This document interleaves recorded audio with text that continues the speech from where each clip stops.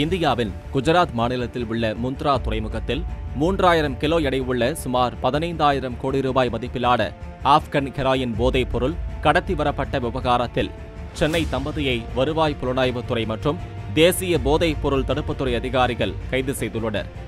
ஈரானின் பண்டாரப்பாஸ் துறைமுகத்திலிருந்து குஜராத்தின் முந்த்ரா துறைமுகத்திற்கு வந்த மொத்தம் நாற்பது டன் எடையுள்ள கண்டெய்னர்களை வழக்கமான சோதனை நடைமுறைகளின்படி போதைப்பொருள் பரிசோதனைக்கு அதிகாரிகள் உட்படுத்தினர்.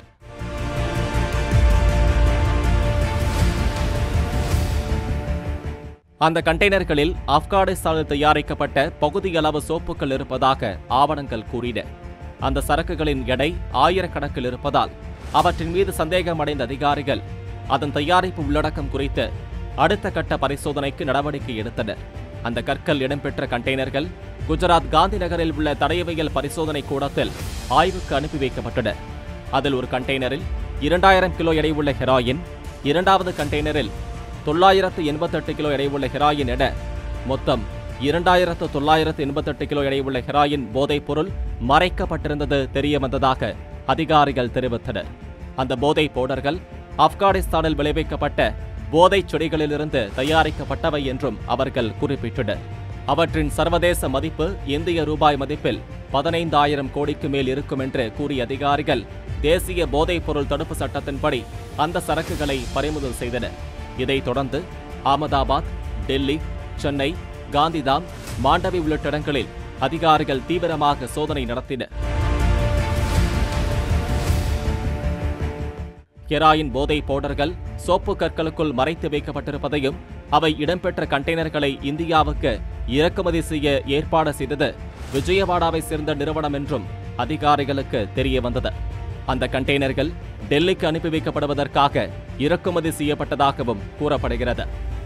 ஆனால் இந்த கண்டெய்னர்கள் விஜயவாடாவுக்கு அனுப்பப்பட்டதாக சில ஊடகங்களில் செய்தி வெளியாகின. இதை அந்த நகர காவல் ஆணையர் ஸ்ரீனிவாசுலு மறுத்து அறிக்கை வெளியிட்டார்.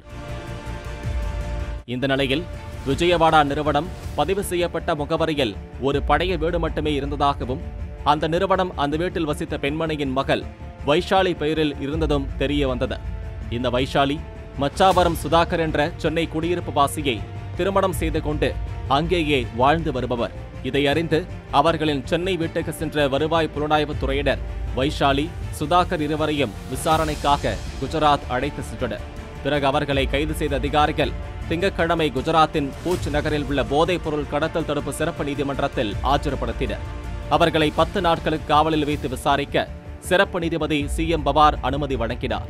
இதன் பிறகே இந்த கைது விவகாரம் மற்றும் போதைப் பொருள் கடத்தல் தகவலின் முழு விவரமும் தெரிய வந்துள்ளது இந்த கடத்தல் தொடர்பாக ஏற்கனவே இரண்டு ஆப்கானியர்கள் தடுத்து வைக்கப்பட்டு வருவாய் புலனாய்வுத் துறையினரால் விசாரிக்கப்பட்டு வருகின்றனர். மேலும் இந்த போதைப் பொருள் மதிப்பை வைத்து இது தொடர்புடைய பண பரிவர்த்தனை பல்லாயிரக்கணக்கான கோடியில் இருப்பதால் இந்த விவகாரத்தை விசாரணைக்கு ஏற்பது குறித்து இந்திய அமலாக்கத்துறை இயக்குநரகமும் தனியாக ஆலோசனை மேற்கொண்டு வருகிறது.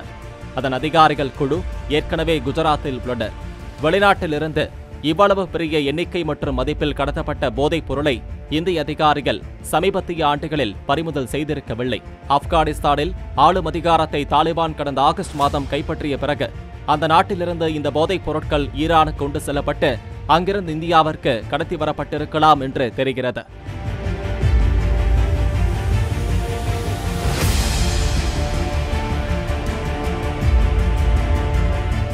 இந்த போதைப் பொருட்களை இந்தியாவில் அதுவும் விஜயவாடாவில் உள்ள ஒரு ட்ரேடிங் நிறுவனம் எந்த பின்புலத்தில் இறக்குமதி செய்தது? இதன் பின்னணியில் யாருக்கெல்லாம் தொடர்புள்ளது என்ற கோணத்தில் அதிகாரிகள் விசாரணை மேற்கொண்டு வருவதாக தெரிகிறது. இதற்கிடையே குஜராத் முந்த்ரா துறைமுகத்தை நடத்தி வரும் அதானி குழுமம் எங்களுடைய கட்டுப்பாட்டில் துறைமுகம் கையாளப்பட்டாலும் அதில் உள்ள கண்டெய்னர்கள் அதிகாரிகளால் பறிமுதல் செய்யப்பட்டுள்ளன. அதை திறக்கும் அதிகாரமும் அவர்களுக்கே உள்ளது. அதில் எங்களுடைய பணி ஒன்றுமில்லை. இந்த விவகாரத்தில் உள்நோக்கத்துடன் அதானி குழுமத்தை தொடர்புபடுத்தி வெளியிடப்படும் செய்திகள் தவறானது என்று கூறி அறிக்கை வெளியிட்டுள்ளது.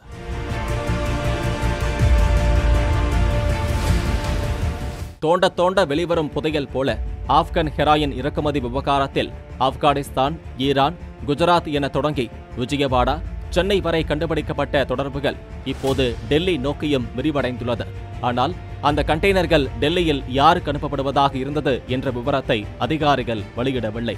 இந்த விவகாரத்தை மேலும் ஆழமாக விசாரித்தால் அது அடிப்படை வணிக வசதி கூட இல்லாத ட்ரேடிங் நிறுவனத்தை விஜயவாடாவில் நடத்தி வந்த சென்னை தம்பதியுடன் நின்றுவிடாது என்று தோன்றுகிறது. மேலும் இந்தியா முழுவதும் நடந்து வரும் போதைப்பொருள் வியாபாரம் அதன் பின்னணியில் உள்ள முக்கிய புள்ளிகள் யார் என்பதும் கண்டுபிடிக்கப்படலாம் என்று எதிர்பார்க்கப்படுகிறது. மேலும் இது போன்ற வீடியோக்களை தெரிந்து கொள்ள ஐ தமிழ் சேனலை சப்ஸ்கிரைப் பண்ணுங்க.